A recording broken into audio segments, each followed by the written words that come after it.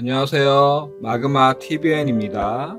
오늘은 대전의 맛집, 대전의 빵집 성신당을 소개해 드리겠습니다.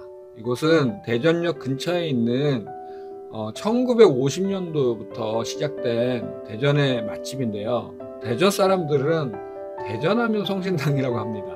모든 것은 성신당으로 대전을 대표할 수 있는데요. 어, 예전에 지인을 통해서 이거 맛있다고 해서 몇 번 먹어봤는데 정말 맛있습니다.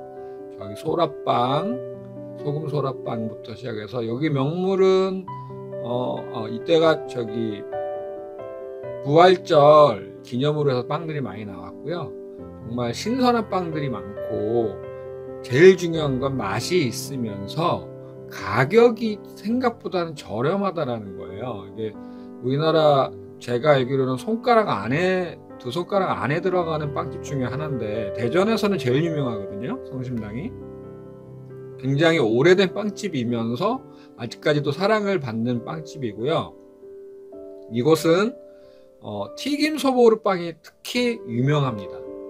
그리고 멜론빵이라는 게 있는데 멜론빵은 솔직히 저도 못, 못 먹어봤어요. 이날도 다 떨어져서 못 먹었는데 그런 몇 가지 굉장히 유명한 메뉴들이 있고 또 기본적인 빵들이 또 맛있습니다. 기본적으로. 지금 보시면 또한 빵을 저렇게 나눠가지고 박스로도 파는데 가격대 가성비가 굉장히 좋아요. 만 원, 뭐 만 삼천 원 이 정도로 해서 할 수 있기 때문에 여기는 특히 고로케 종류도 많고 특히 팥빵이 많습니다. 팥이 들어가 있는 거.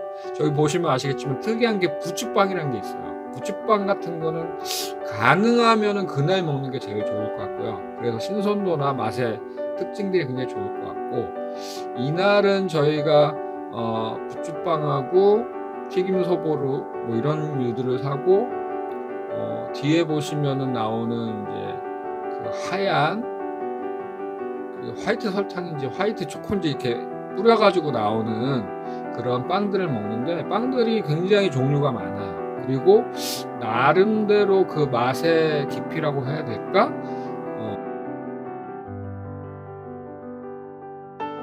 어, 미니 초코 메리, 메아리 뭐 이런 것도 있지만 저는 초코 소라빵 뭐 이런 것들도 굉장히 잘 먹었고요. 기본적으로 맛있습니다.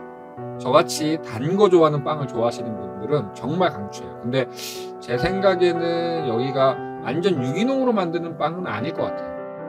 어우 지금 보는 이 딸기가 들어가 있고 이 슈크림 들어있는 저 빵 엄청 달면서 맛있습니다. 이거 웃긴 게 뭐냐면 엄청 달지가 않아요.